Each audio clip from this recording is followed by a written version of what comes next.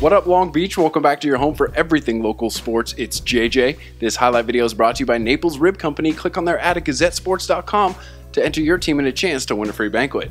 Home is where the pyramid is on Saturday as Long Beach State men's basketball hosts Caltech in the annual homecoming game. High expectations for these 49ers who are favorites to win the Big West with eight returning letter winners, taking on the Beavers out of Division 3 in this exhibition in front of a raucous home crowd. more that student section looks like a pro soccer match, the better.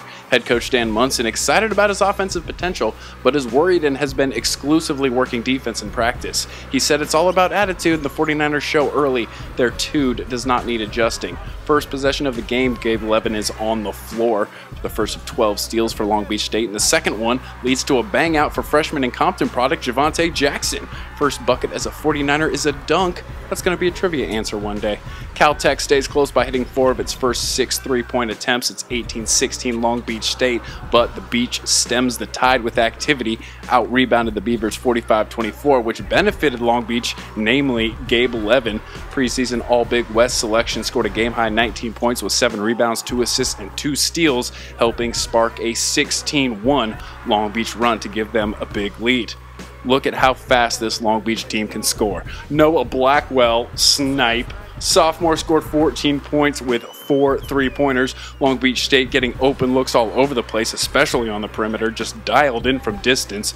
Shot 46% from three point range, and Long Beach 16 assists in the first half on 24 made baskets. That is sharing the basketball.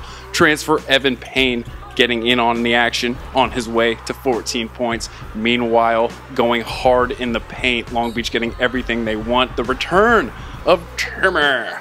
Yussuf with the and one. Missed last year with an injury on his way to nine points and a game high eight rebounds. Long Beach outscoring Caltech 58 in the paint. That's right, I'm 50. The only drama would be whether Long Beach could score 100 and hold Caltech to under 60. 0 to 100 real quick. Freshman Lauren Jackson helped it with a game high 10 assists. Then back to the defensive end. It's a 40 point game with less than 8 minutes left. Levin and Blackwell drive, draw back to back charges. That's about mindset. Caltech shot 36% from the floor, and the bench was more excited about the defense than it was about the offense. 115 points, second most in program history, and Long Beach State rolls to this homecoming win, 115 58. Thanks as always to all of our sponsors, including Papa Lucci's, a great place to eat on 2nd Street. Stick with us, Long Beach State back in the pyramid next Friday, and you're going to find all the coverage right here at GazetteSports.com and the Press Telegram.